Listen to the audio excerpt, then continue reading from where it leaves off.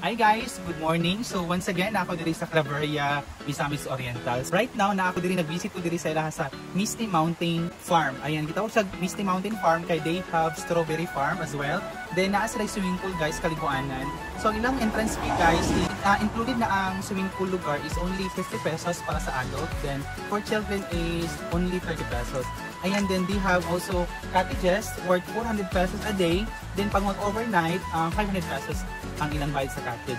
Then they have also guys cottages as na para dirita matulog, uh, only 1,000 pesos. Good for two persons only. Ayan, so let's take a look guys sa ilang place sa Misty Mountain Farm. Let's go!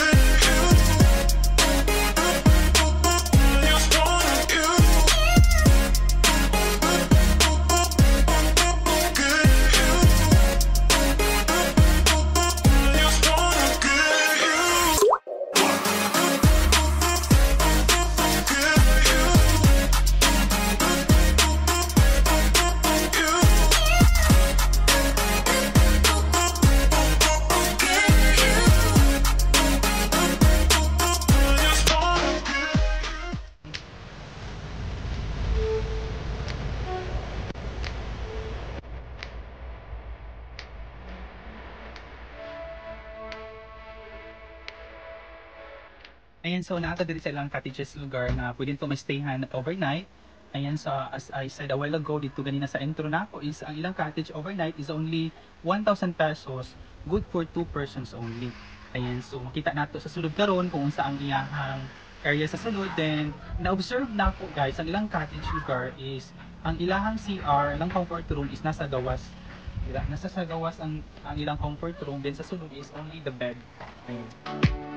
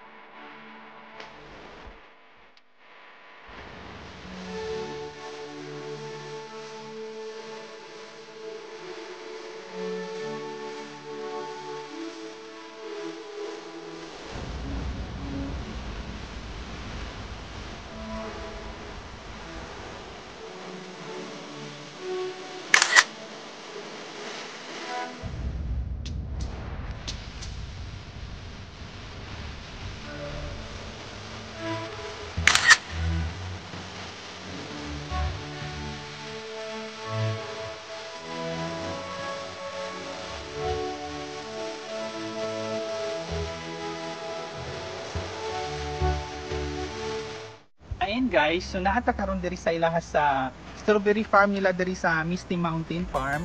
Ayan so actually na ako'y nakita nga ng mga hinog na nga bunga then if mo pick lugar ta sa ilang bunga is only 10 pesos kada lugar strawberry fruit. Ayan so medyo siya